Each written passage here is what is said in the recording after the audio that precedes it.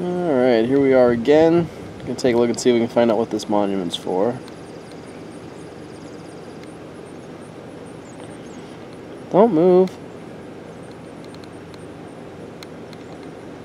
Erects this monument to commemorate her sons who here gave their services to perpetuate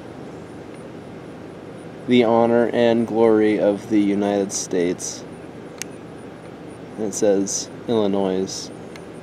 So that's a monument to the men who fought here from Illinois.